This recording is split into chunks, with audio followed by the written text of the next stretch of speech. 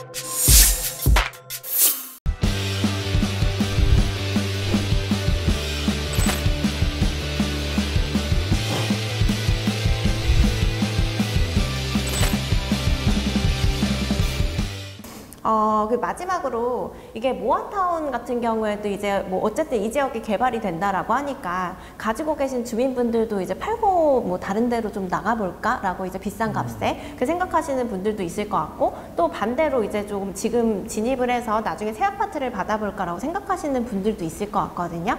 그럼 이런 분들한테 지금 모아타운을 추진하시는 입장에서 뭐 어떤 뭐 유의할 점이나 이런 것들을 조언을 해주시자면 어떤 것들이 있을까요?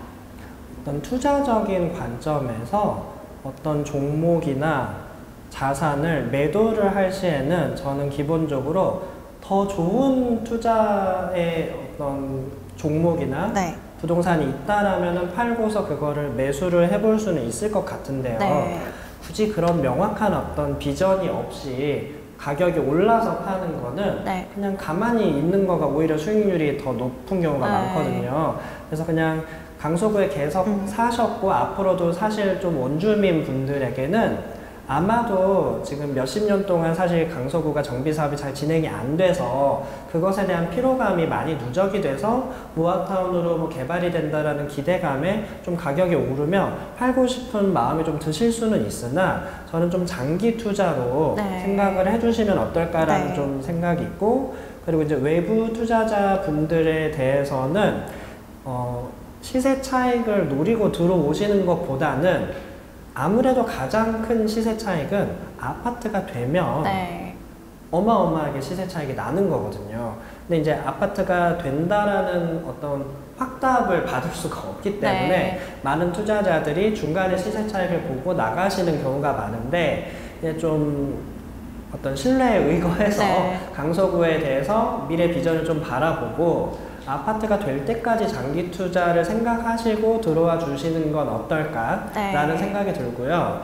좀 투자적으로 이게 뭐 주식도 그렇고 코인도 그렇고 부동산도 그렇고 결국에는 어떤 목표나 실적이 달성이 됐을 때 이게 포텐이 터지는 거거든요. 그렇죠. 그럼 부동산이라면은 원가나 이 땅 가격 자체가 기본적으로 바닥은 탄탄한데 가장 크게 이제 높게 가격을 쏘아 올리려면은 결국 모아타운은 대단지로 아파트를 성공시키는 거고 성공을 하려면 주민분들께서 마음을 모아 주셔야 되는데 아무래도 원주민분들은 청년분들도 계시지만 연세가 좀 많이 드신 분들이 꽤 있으시고 투자자분들은 좀 젊은 멤버들이 많이 있으세요. 네. 근데 이제 이게 서로 힘을 합쳐야지 목표를 달성할 수 있지 누군가 해주겠지로 접근해가지고는 이게 안 되거든요. 네. 그래서 뭐 현대 사회이기는 하나 좀 우리가 어쨌든 농경 사회 문화가 좀 아직까지는 남아 있는데 일종의 품앗이처럼 원주민 분들과 투자자로 들어오시는 분들이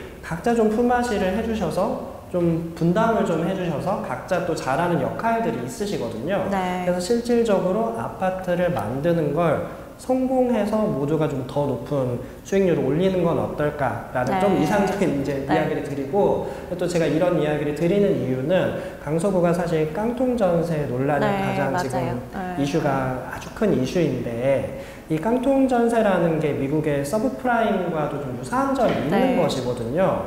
근데 사실 가격이 계속 꾸준히 올라준다면 어떤 이런 좀 부실한 어떤 네. 은행 빚이 있다라고 하더라도 그걸 이겨낼 수는 있는데 또 지금 시장 상황이 또 더욱이 안 좋다 보니까 더욱이 이 깡통 전세가 문제가 되는 거고 네. 경매가 나오는 물건들이 많은데 막상 유찰이 되거나 이런 경우들이 있는 음. 건데 이걸 타개할 방법은 저는 모아타운 사업이 화곡동에서 결국 아파트를 만드는 거를 성공을 시켜야 가격 자체가 땅의 가격 자체가 상승이 됨으로써 기존에 이제 손해를 봤던 분들도 어, 경매 이렇게 올라가더라도 좀 높은 가격에 그거를 매수해서 들어오실 분이 있어야 이게 또 해결이 되는 네. 거고 또 이제 전세 피해자 분들께서 국토부에서는 지금 그 낙찰을 우선적으로 좀 받을 수 있게 네. 많은 부분을 음. 금리를 최우선으로 우대를 해드리고 있거든요. 네, 네. 그러면은 피해자분이 낙찰을 받으셨을 때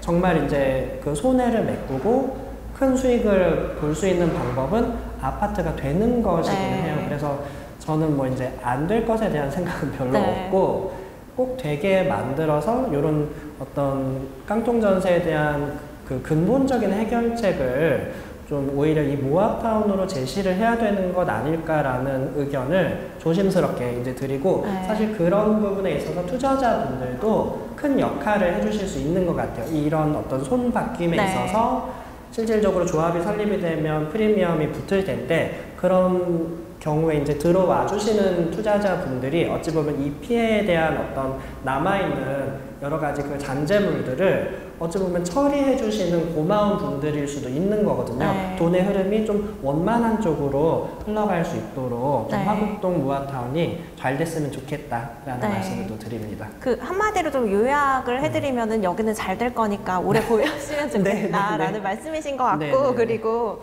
이게 말씀하신 대로 좀 거래가 활발하게 이루어져야 그래야지 이제 가격도 올라가고 또 네. 개발도 더 잘 되고 원래 이제 보통 그 개발이 시작되면은 처음에 원주민분들이 많이 계시다가 투, 투자자들이 일부 네. 지분을 차지하게 되잖아요.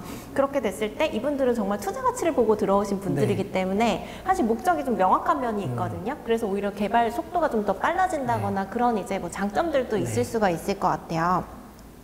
그리고 이게 모아타운 관련해서 되게 많이 물어보시는 게 저는 이제 권리 선정 기준을 많이 물어보시거든요. 그래서 오늘은 이제 영상이 기니까 다 말씀드리긴 어렵지만 어쨌든 모아타운의 권리 선정 기준일이라는 게 정해져 있는데 그 이후에 이제 뭔가 쪼개기를 하신다라고 했을 때는 뭐 온전한 입주권을 못 받는다거나 뭐 이런 불미의 사태가 발생할 수가 있기 때문에 어 이게 그 뭐 투자를 하시거나 뭐 내 집 마련을 하시거나 아니면은 기존에 뭐 소유를 하고 계신 뭐 이런 분들 모두 해당이 될 텐데 어, 내가 이제 가지고 있는 뭐 그런 물건의 권리 분석이나 뭐 이런 것도 좀 정확하게 하시고 또 말씀하신 대로 그 강서구라고 하더라도 이게 사업지별로 다 특징이 다르잖아요. 장단점도 있고 하기 때문에 이런 사업지별로 좀 분석을 잘 하셔서 좀 신중하게 뭐 투자를 하신다거나 하시, 하시면 좋을 것 같아요.